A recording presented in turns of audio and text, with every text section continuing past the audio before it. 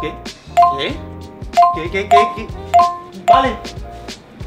El salseo básicamente ha sido el beef entre Denom y Psycho. Denom ha saltado a las redes bastante cabreado con Psycho y su equipo y les acusa de haberle copiado un proyecto que les enseñó hace tres años, un día que compartieron estudio.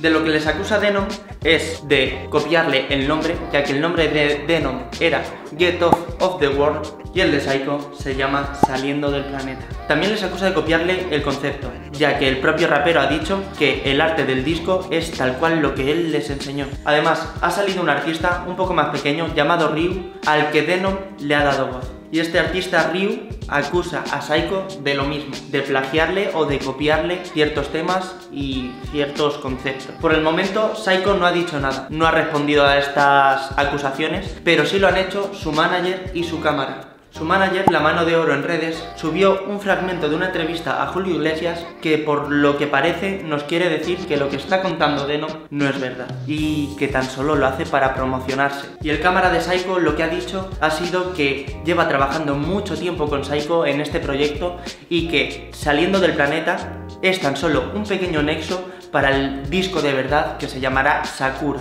de Psycho, que además saldrá a lo largo de este 2024. Y Denon, ante el cámara, no se ha podido callar y ha respondido de una forma un tanto despectiva hacia él, diciéndole que cuando Psycho empezó con este proyecto, él no sabía ni quién era Psycho. Entonces, como que todo lo que ha pasado ha sido anterior a que el cámara trabajase con Psycho.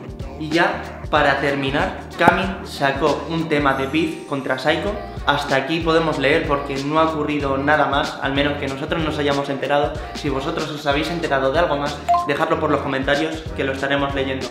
Y a vosotros también me gustaría preguntaros qué os parece. ¿Os parece que Denom se esté promocionando o que realmente esté contando la verdad? ¿Qué bando estáis más? ¿Con el de Psycho o con el de Denom? Y ahora, dejando los beefs un poco aparte, tenemos otro salseíto y es Morat a la cárcel. Y es que hace poco ha salido la noticia de que Morat ha aceptado dos años de cárcel y se le acusaba por un delito de incitación a agredir coches policiales durante la grabación de un videoclip suyo y bueno, parece ser que el propio artista ha aceptado ese delito o, o, esa acusación. El artista en un principio se enfrentaba a siete años de prisión, pero llegó a un acuerdo con la fiscalía y le redujeron a dos años, que realmente no entrará a la cárcel. Finalmente el resultado de todo esto ha sido una multa de unos 2.000 euros eh, que tiene que pagar Mora y dos años sin cometer ninguna clase de delitos. En caso de que cometa algo así, creo que ya tendrá unas consecuencias que le harán ingresar en la cárcel directamente. Ahora vamos con algo bastante curioso, y es ¿dónde está Jacob? Y es que ahora nos vamos hasta Puerto Rico, donde han comenzado a aparecer carteles en los que pone dónde está Jacob.com. Y es que cuando entras en la web hay un mensaje firmado por el propio Jay Cortez, en el que sugiere que dentro de poco habrá un nuevo álbum del artista. La verdad es que nosotros lo esperamos con ganas. ¿Y vosotros? Últimamente ya sabemos todos que Bad Bunny está en boca de todos porque sus mayores fans están teorizando sobre el lanzamiento de su próximo disco, intentando averiguar la fecha, contando piezas de dominó en sus últimos posts de Instagram o dentro de su pelo como que hay una grieta que, que da un número para saber cuándo va a sacar el disco, pero de momento oficialmente no sabemos nada. Pero hoy no vamos con eso. Hoy vamos con una noticia que salió hace relativamente poco y es que Bad Bunny demandó a un sujeto que subió imágenes de sus actuaciones a YouTube sin permiso y sin autorización alguna.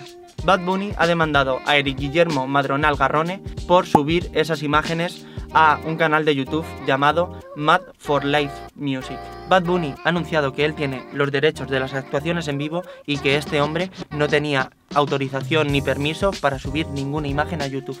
Finalmente, no sabemos cómo ha acabado esto, pero nos imaginamos que ese vídeo será eliminado si no ha sido ya eliminado de YouTube y no sabemos si habrá alguna multa que tendrá que pagar este sujeto. Y bueno, para finalizar con esta sección de salseos, vamos con Cecilio G. Y es que no sabemos si es verdad o es fake, pero ha subido a sus historias una fotografía de una ecografía y pone abajo el legado. ¿Estará anunciándonos Cecilio G que va a ser padre? Sí, Cecilio G, padre. Bueno, todavía no sabemos nada, pero lo veremos en menos de nueve meses si esto es verdad o simplemente ha querido trolear un poquito a la comunidad.